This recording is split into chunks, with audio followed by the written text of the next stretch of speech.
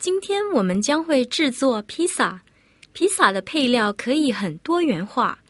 今天我们用的配料就有番茄、黄椒、青椒、黄梨，还有香肠。另外还需要一个饼皮、传统式披萨酱料以及芝士。首先把材料切成薄片或者切丁，就看您准备要怎么装饰你的披萨。当然，你可以随着个人喜好放入其他材料，做出不同口味的披萨。比如用黄梨和鸡肉丁做出夏威夷式披萨。或者也可以放小虾和吞拿鱼。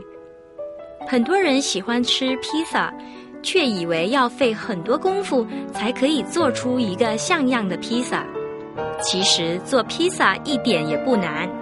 今天你看了这个示范以后，马上就可以用法兰斯烤箱亲手做一个了。